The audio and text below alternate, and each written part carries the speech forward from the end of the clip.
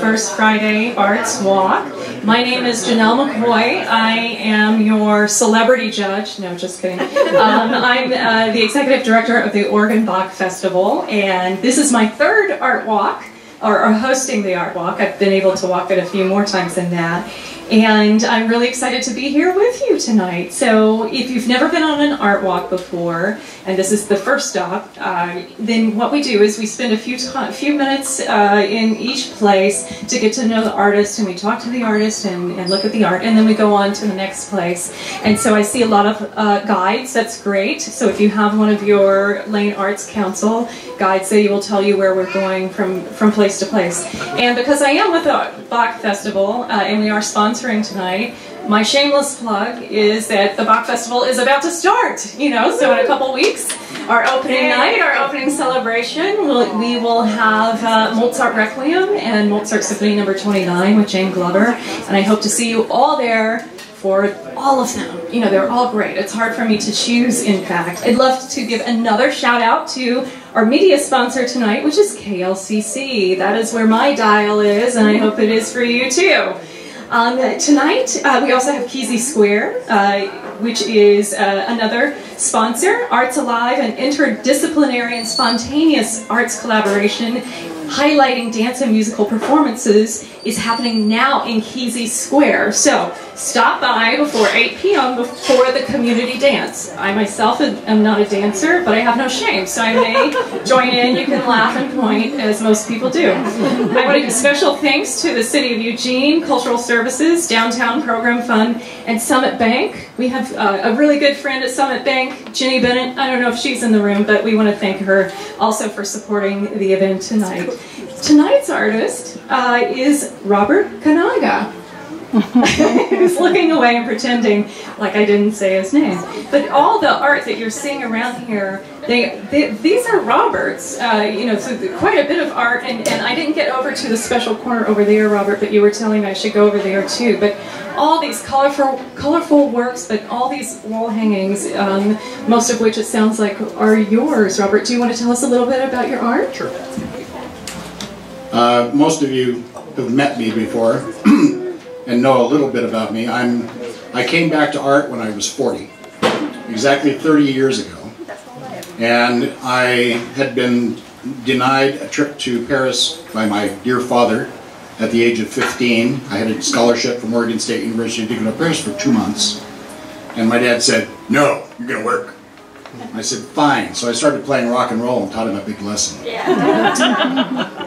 And so when I came back to painting, came back to printmaking and drawing, I was just, it was like releasing a switch.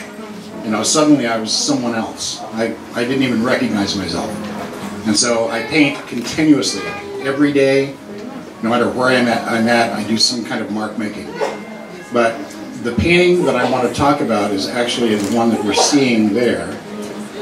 I was I was struggling with that painting, the base of that painting. I had kind of a landscape in mind and kind of this and kind of that, and I wasn't ever satisfied.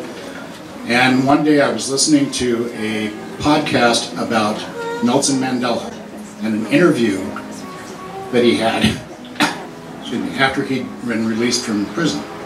And I went, okay. And I did that painting. Finished it up, and I'm very, that's, that's I like that painting a lot. I may not ever sell it. I might just keep it hidden in the closet. Uh, most of the painting, like this one, the red, the bright red, that's called Okada Red.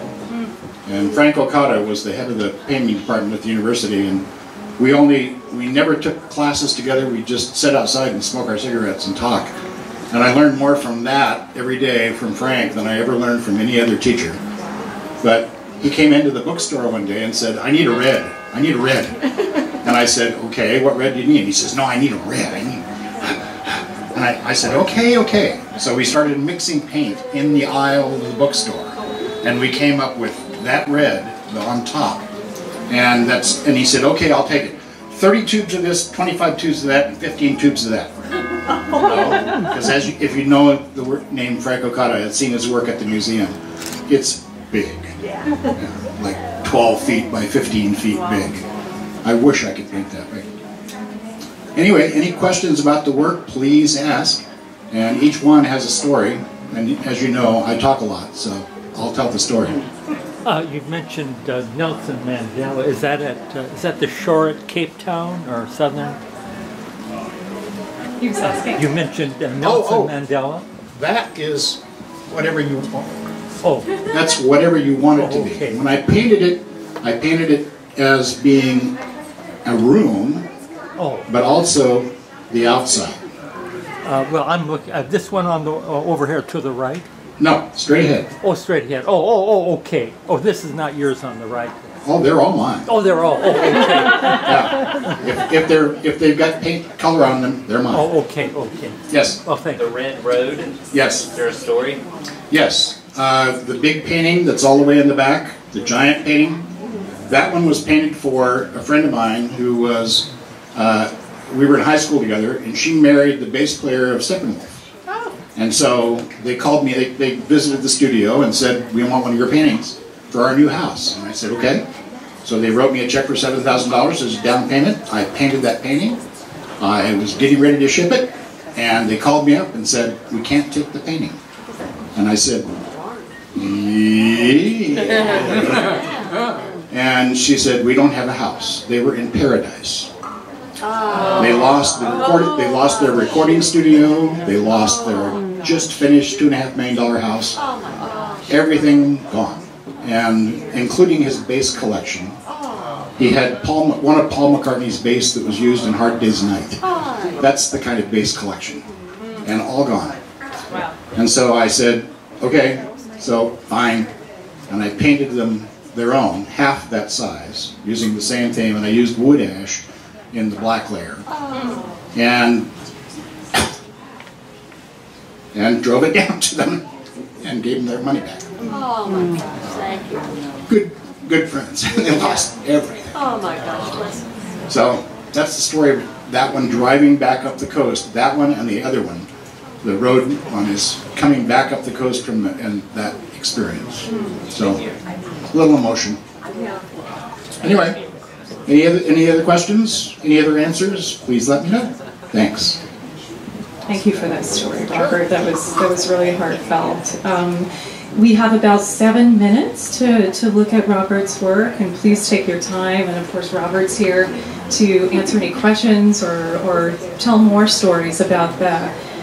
Let's see something like Bill Green. Yeah. So I got an imprint of that. And then I thought up more about it. I said, I want a sunrise.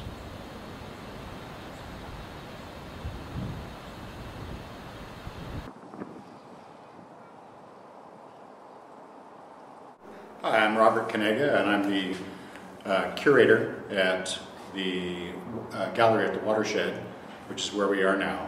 And this is a group show that was co-curated uh, with Susie Loudermilk, uh, who teaches, at uh, teaches printmaking at, at Lane Community College. And we put this show together from printmakers who have a connection to Eugene and who have lived here uh, or worked here or done workshops here. And one of the major players is a guy named Dan Welden. And Dan lives in Sag Harbor, New York. And I met him a number of years ago doing a workshop in Santa Fe and brought him out here to Lane Community College to do another show.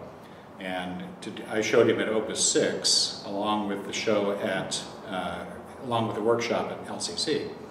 And he has a real deep connection to printmaking the, in the Northwest. He comes out here often. And his, he is the guy that invented solar plate. And he did it on a golf course in Japan many, many years ago. He was playing with a couple of Japanese businessmen, and the caddy was interpreting. And Dan asked them what they did, and they said, well, we make golf balls. And he reached over and picked up a golf ball and looked at it, and he says, how do you get the signature on there? And so they took him to the factory the next day and they showed him the process. And from that experience, he ended up with the polymer that he uses for this. After about seven years of research and working with the company, now you can buy the solar plate and create images of your own. And it's quite an amazing process. I use it in my work almost exclusively in my photographic etchings. And uh, Dan uses it with frosted glass and draws on the glass and then prints that. And it's, it's wonderful process. But everything in this show, uh, we have uh, everything but stone lithography, I think. We've got etching, we've got mezzotint, we've got wood block, we've got linoleum block, we've got uh, engraving. It's just really a rich, beautiful show. And if you get a chance, please come and see it.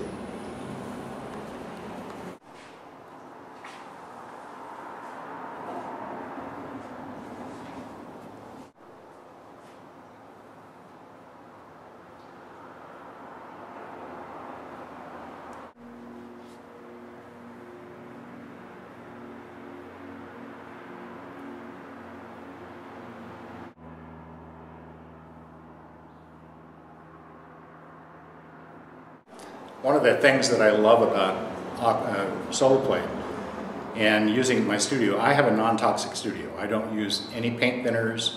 I use turpentine, but real turpentine, not the stuff that they gum turpentine, the stuff that's cheap. I use real English distilled turpentine and it's much less volatile and you use much less of it. I don't use any type of paint thinners, Gamsol, any of that stuff. It's all very toxic.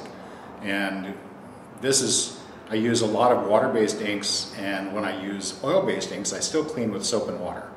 I've got brushes that I've had for 20 years that I clean with soap and water and they look brand new. Uh, and the solar plate, because you're creating an etching without acid, you're doing it with the sun and water. Then you're not breathing the fumes, you're not getting your hands in the acid, you're not you know, permeating your space with this horrible chemicals. And it's much less toxic. And most of the time when I'm washing plates, I do it in a dish sink uh, that I take outside and wash the plate in that. And then I let that dry in the plate so that I can scrape up if there's any residue and throw it away.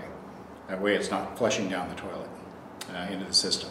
And it's just another step that you can take to be a little more safe. And it's a great alternative for people that want to do small presses, uh, pieces relief like I did today. Uh, it's easy, it's efficient, and it's, it teaches you a lot of care because it's kind of hard. But it's a great alternative to, to any other type of printing, printmaking.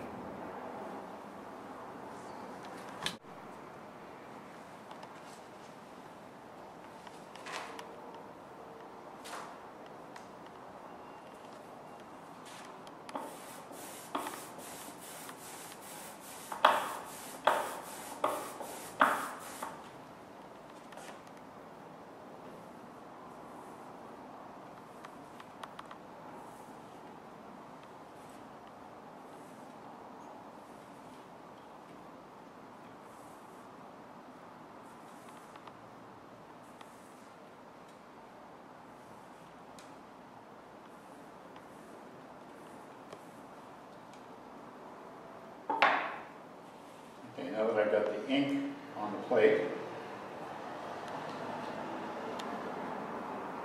I'm going to take this over.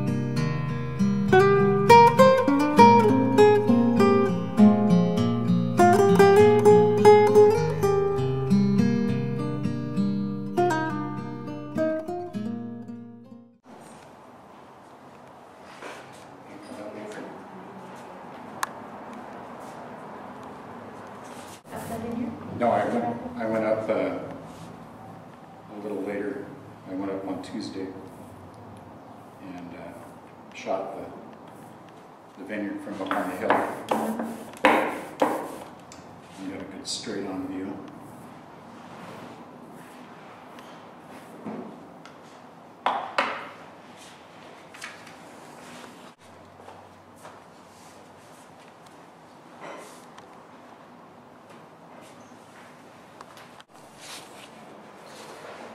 Since it's you,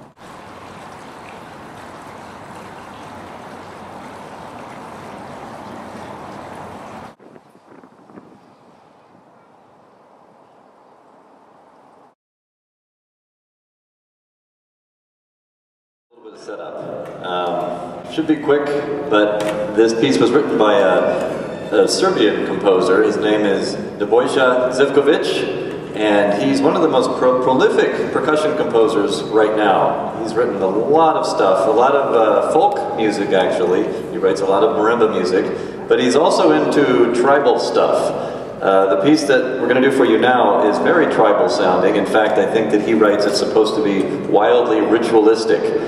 And it's for three players. It's called Trio per Uno. And they all share a bass drum in the middle. And they'll all be playing the bass drum, sometimes at the same time, sometimes at different times. And it really sounds like it's just one player playing the bass drum. And they all have the, the same instruments around the bass drum. They all have a couple of gongs that are muted and bongos. And sometimes they play, um, well, there's a little bit of improvisation towards the end. And I think that you'll agree it's very, very tribal. So this is Trio per Uno by Nebojša Zivkovic.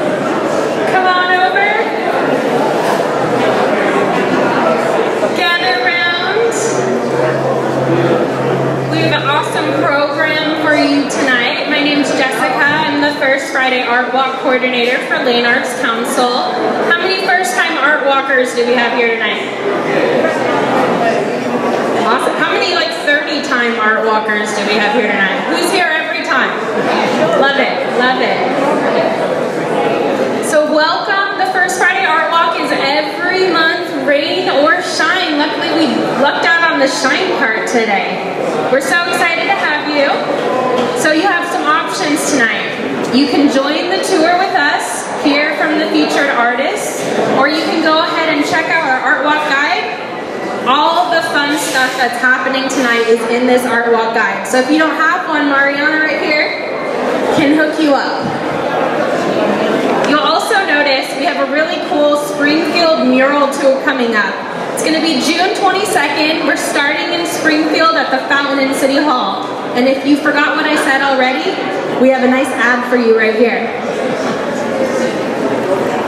So the art walk is made possible by awesome sponsors that want to make the arts succeed in Eugene. So our sponsor tonight is the Oregon Bach Festival. Can we give a hand for them? Cool. And we also want to thank our media sponsor, KLCC. How many people heard about the Art Walk in KLCC? Awesome, awesome. We're so thrilled for that partnership.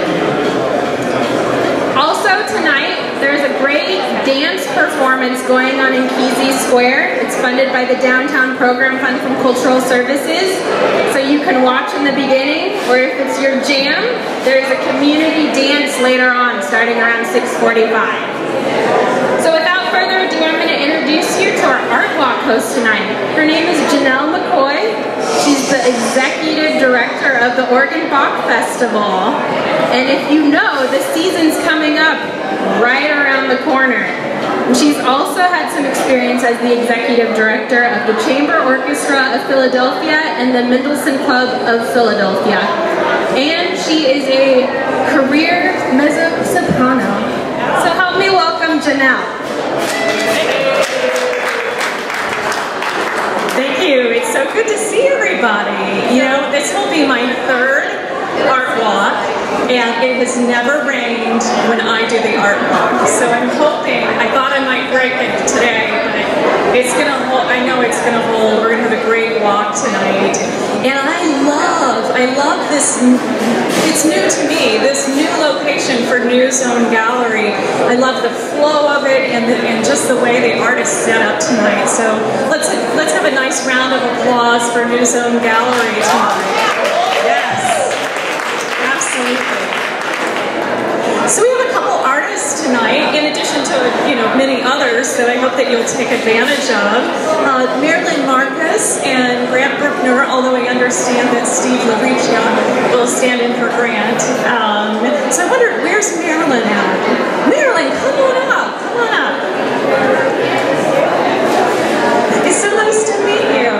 So Marilyn, I understand your work over here. If people haven't looked at Marilyn's work, I was really taken by, you know, that you do watercolors as well as um, mosaics, glass mosaics, and those seem really opposite to me somehow. So I wonder if you could just talk about what's drawing you to those two mediums.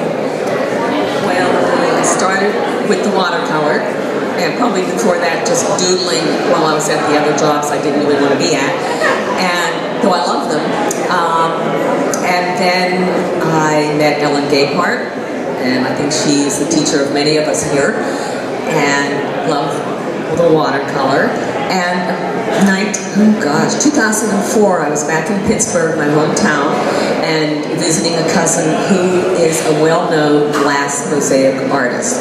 She has two 4x8 pieces at the Pittsburgh International Airport, and just really enjoyed it, enjoyed working with her, and there's a, a freedom in it because you, you can just use broken pieces. it's wherever your mind might go with it. It's not as exacting as uh, other stained glass uh, art.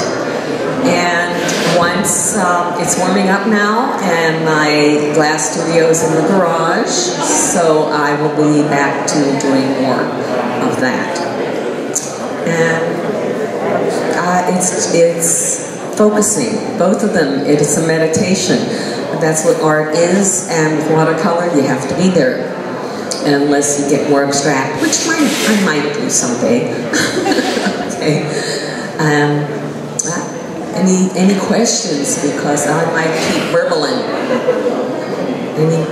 Any questions for Marilyn? Yes. What's your favorite scene or do you like portraits do you like landscapes? I I like landscapes. Um, it's true I can branch out to portraits, and I've done some of that, but not yet. Uh, florals I do enjoy, but I seem to go to the landscapes a lot more. And just give me a challenge and I'll try it. Sorry, talking to the. Give me a challenge and I'll try it. like this. That's great. I was very taken, Marilyn, when I was looking at your works on the wall, and I felt like I was going through a journey in Oregon. And I think that must speak to your, your love of landscapes. You know, all the favorite places that I have in Oregon, I'm still relatively new to Oregon, I feel like you've captured for me. So um, it, it, it looks like that you've traveled around the state quite a bit as well. And yes, yes, and hopefully more so.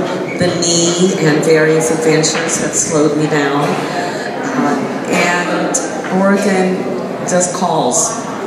Okay, and we can certainly use more beauty in the world, and Oregon's got a lot of it. So if you haven't seen Marilyn's works, her works are right over here, right over my right shoulder. Look for her beautiful mosaics, her Oregon landscapes, her florals, uh, her watercolors, uh, all the all the above. And I believe your art is for sale, as most you know of this art is. Uh, so please support our local artists. This is a wonderful space for us in Eugene to be able to show the work of our local artists. It's really important, and we don't have enough spaces like this. So let's make sure that we support New Zone Gallery and our local artists. Yes, absolutely.